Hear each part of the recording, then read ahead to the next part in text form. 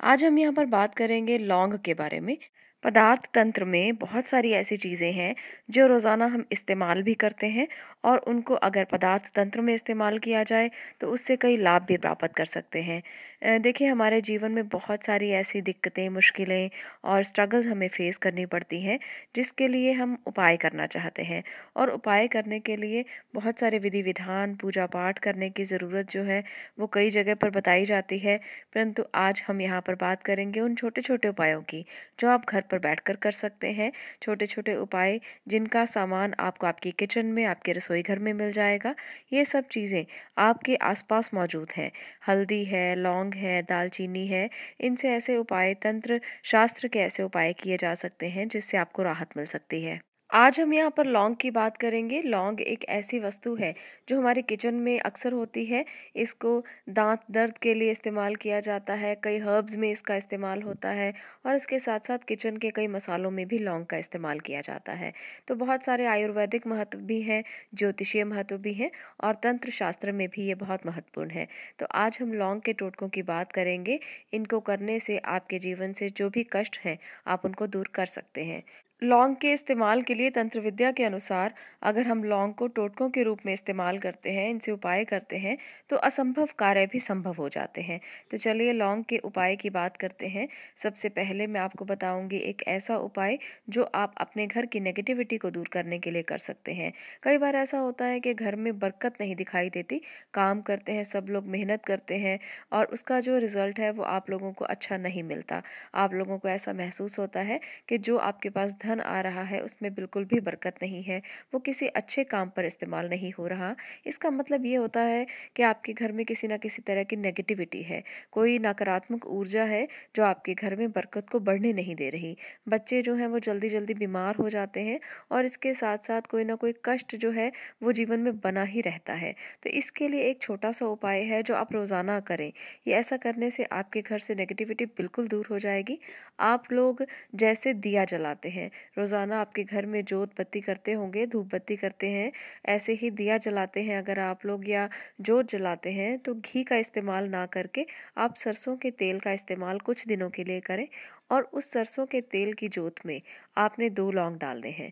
दो लौंग डालकर सरसों के तेल की जोत जलाएँ। ऐसा करने से आपको एक हफ़्ते में ही परिणाम मिलने शुरू हो जाएँगे, आपके घर से सारी नेगेटिव एनर्जी दूर चली जाएगी। आप इस उपाय को एक महीना भी कर सकते हैं, अगर आपको लगता है कि अभी भी कोई नेगेटिविटी बाकी है तो इसे एक महीना भी कर सकते हैं। उसके बाद आप रोज़ाना जैसे भी अपने घी से जो जलाते हैं, उसे जलाएँ। आप लोगों को एक बात और ज़रूर कहूँगी, इसको करते हुए, यानी कि एक हफ़्ता करें या एक महीना करें, इसको करते हुए जब भी आप करें, तब साथ में हनुमान चालीसा का पाठ एक बार ज़रूर करें। ऐसा करने से ये जो टोटका है, ये जो उपाय है, ये और भी प्रभावी हो जाता है। भगवान, श्री हनुमान की कृपा आपको मिलने लगती है और आपके घर की रक्षा होती है। तो ये ज़रूर करें, हनुमान चालीसा का पाठ ज़रूर करें और साथ में इसे भी करें। तो चलिए अब बात करते हैं अगले उपाय की। ये भी हनुमान जी से ही संबंधित है। ये जो उपाय यहाँ पर मैं आपको बताने वाली हूँ, ये बहुत ही प्रभावी उपाय है। आपके घर में धन से संबंधित कोई भी समस्या है, किसी भी प्रकार की समस्या है, आप इस उपाय को करके देखें, आप लोगों को ज़रूर लाभ मिलेगा। धन से संबंधित सारी दिक्कतें, सारी परेशानियाँ, सारी मुसीबतें दूर हो जाएँगी। आपने क्या करना है? 108 दाने लेने हैं लौंग के। आप इसे पानी में भिगो लें। आप थोड़ी देर के लिए इसे पानी में भिगो दें या आधा घंटा या एक घंटा। उसके बाद इन सभी लौंग को निकाल लें और निकाल कर सुई धागे से एक माला बना लें। इस माला को आप किसी भी मंगलवार या शनिवार के दिन हनुमान मंदिर में जाकर माला जो है भगवान हनुमान जी पर चढ़ा दें और इसके साथ साथ आपने हनुमान मंदिर में ही बैठ जाना है और वहाँ पर बैठकर सात बार बजरंग बाण का पाठ ज़रूर करें और लड्डू का भोग भगवान हनुमान जी को लगाएँ ऐसा करने से आप लोगों की जो जीवन में समस्याएँ हैं, धन से संबंधित दिक्कतें हैं, शत्रुओं से संबंधित कोई दिक्कतें हैं, सब तरह की दिक्कतें दूर हो जाएँगी। हनुमान जी की अपार कृपा आपको मिलेगी और आपके जीवन से सभी तरह के कष्ट हटेंगे। चलिए अब तीसरे टोटके की बात करते हैं, तीसरे उपाय की बात करते हैं। आपने क्या करना है? आपके घर में जैसे शाम की जब जो जलती है या शाम को आप जब पूजा करते हैं तो आपने एक कपूर लेना है। कपूर के ऊपर आपने दो लौंग रखने हैं और उसके ऊपर थोड़ा सा दालचीनी का पाउडर डालना है। दालचीनी का पाउडर आप बना लें। दालचीनी को पीस लें या फिर आपको पाउडर बना हुआ भी मिल जाएगा, वो भी आप ले सकते हैं। उसके ऊपर थोड़ा सा दालचीनी का पाउडर डाल दें। ऐसा करने से भी आपके घर से से नेगेटिव एनर्जी जो है वो बिल्कुल ख़त्म हो जाती है।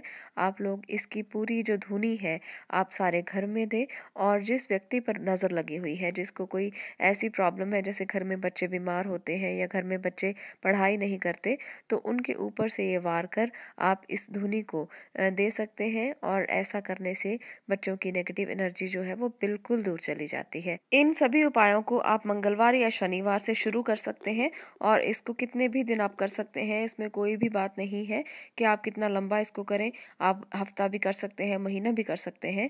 ऐसा करने से आपके घर में किसी भी तरह की कोई नेगेटिव एनर्जी नहीं आएगी और अगर किसी ने कुछ किया, कराया है, कोई नेगेटिव एनर्जी है, कोई बुरी नज़र लगी हुई है तो सबसे आपको मुक्ति मिलेगी। तो इसको अपना कर ज़रूर देखें और उसके बाद आप रिज़ल्ट बताएँ। तो चलिए आज के लिए इतना ही। अगर आपको वीडियो अच्छी लगी हो तो इसे शेयर करें बाकी लोगों के साथ भी, ताकि बाकी भी इस उपाय को कर सकें।